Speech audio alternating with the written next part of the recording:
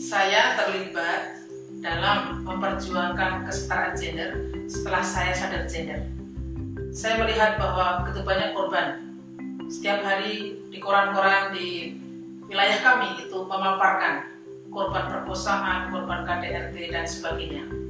Lalu saya ikut dalam organisasi perempuan anti kekerasan perempuan. Kemudian rumah kami, biara kami menjadi tempat penitipan bagi para korban.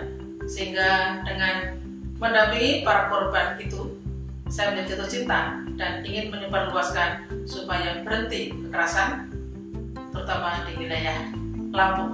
Terima kasih. Pesan saya kepada kaum perempuan, tapi juga kepada kaum laki-laki, mari bergandengan tangan untuk mensukseskan hidup kesetaraan. Perempuan yang kuat harus menolong perempuan yang lemah. Mari kita ciptakan budaya kehidupan dan meninggalkan budaya kematian.